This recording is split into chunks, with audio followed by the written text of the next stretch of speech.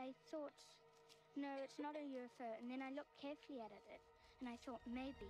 And I saw this person, and it had big eyes.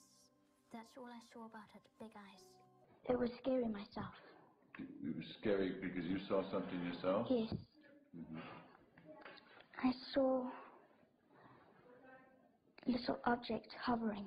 It was quite big actually, and then there was little ones all around it. I think they want um,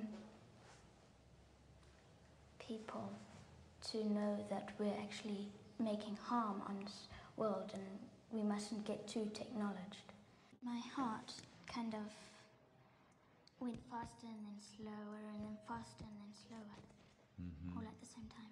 His eyes looked at me as if, oh, I want, I want to, and things like that. I want to what? I want you. I want you. Yeah. This is Emma. Oh, Emma Christensen. Yes. Yes, because your drawing uh, was particularly interesting. Uh, they have asked me about it.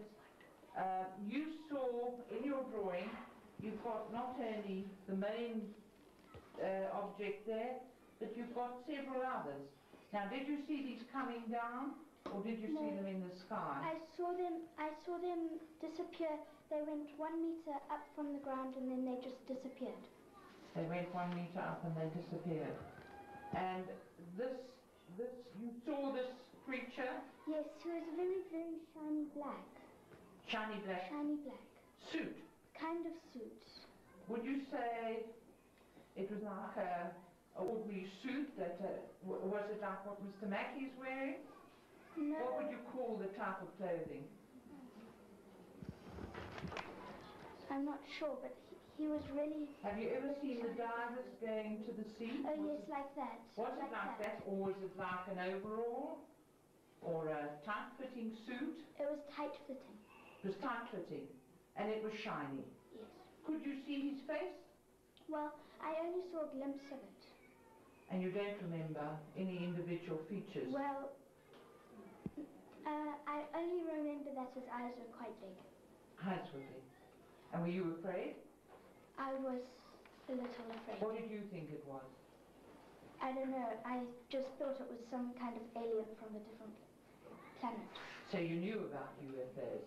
Yes. You've watched on television. Yes. Do you think that influenced you? Mm, Or you weren't thinking about it I was went? thinking No. about it. Okay. Thanks, Emma. I saw one big one and then quite a few little ones scattered all around. How many of quite a few? Mm, About two or three or About- four? four. About four. And what's what the little ones doing? No, they were they were very still, and then I saw them also disappear.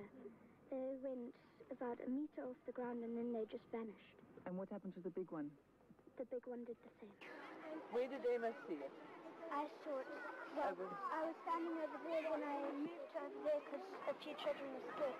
But I moved over there and I saw it, the same one, but um, you could see it from both directions. Okay. I've not spoken to anybody about it. Not because I'm not proud of it, but because I don't want the the stigma.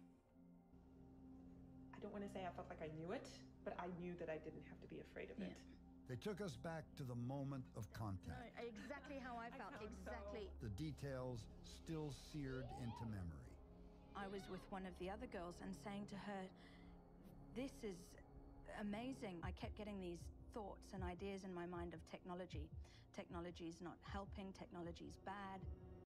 As soon as I broke contact, all of those feelings, technology, the bad, the horribleness that was happening and, and going around my body at the time, went